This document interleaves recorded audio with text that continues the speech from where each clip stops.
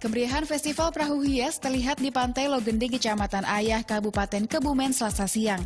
Ratusan kapal hias dengan berbagai bentuk dan hiasan menyemarakan kawasan muara Sungai Bodo.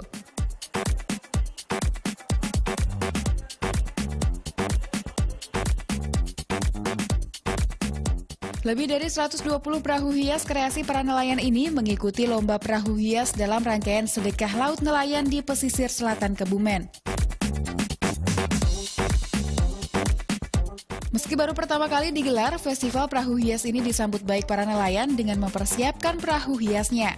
Ya coba-coba lah mungkin karena cuaca kan sedang buruk, jadi kita ikut lomba lah, siapa tahu kita menang. Tapi sulit dalam dua minggu, satu-satu minggu kita bikin ini mau buat apa, buat ini, buat itu nanti kan sama-sama, nanti kita nggak boleh sama-sama, kita bikin satu-satu. Ini baru pertama kali ya? Ya ini baru, baru pertama kali.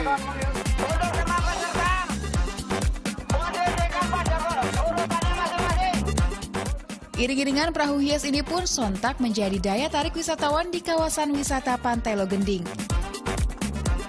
Rimbunnya hutan mangrove di sepanjang Sungai Bodo hingga pemandangan alam pegunungan yang indah menambah kemeriahan arak-arakan perahu hias.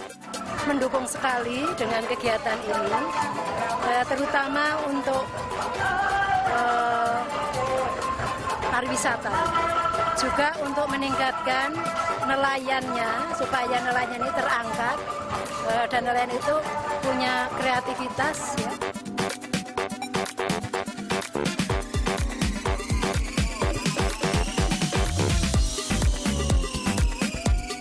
Tradisi sedekah laut dengan festival perahu hias ini mendapat respon positif dari pemerintah setempat.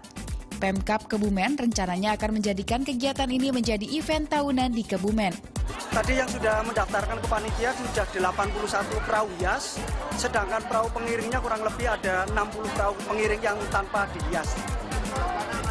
Alhamdulillah untuk masyarakat nelayan, karena kemarin itu pada waktu kegiatan musyawarah, ini merupakan agenda tahunan, mereka antusias termasuk dalam pendanaan. Berbagai hiburan kesenian daerah juga ikut menyemarakan festival perahu hias ini. Selain rangkaian tradisi sedekah laut, event ini diharapkan menjadi ajang promosi wisata Pantai Logending Kabupaten Kebumen. Agung Nugroho melaporkan untuk NET.